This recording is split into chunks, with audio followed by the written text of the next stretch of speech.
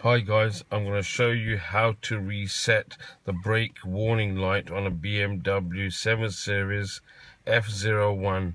You can do the same procedure from 2008 up to 2014. Right, okay.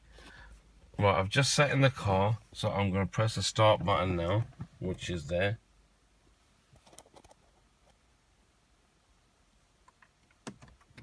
Right, everything's lit up in the car right? And it's come up with this sign on my center display. Brake pads worn. Have the problem checked by the nearest BMW service. Okay. Right. Okay. Right. Uh, now looking at the dashboard. Okay. Let's get rid of this uh, washer sign. To get rid of this on your left hand indicator there's buttons there's two buttons there. So you push the top one BC that should get rid of that. Right. Now what you do um, as you can see, sorry, on the top right hand corner, you'll see the brake light um, symbol, uh, which is in red, which is telling you there's a problem with the brakes. Okay, right. Now what you do, at the bottom left hand corner of your dashboard, there's a button there, a rectangular button. What you do, after turning the ignition on, you hold it until you see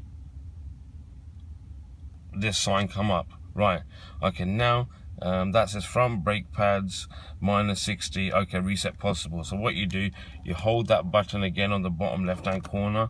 Hold it. And then it says perform reset. You let go.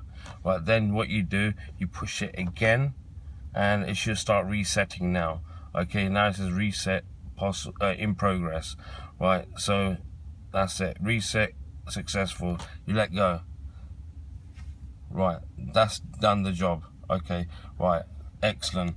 That's all done now. Right that was how you reset your brake warning lights off the car.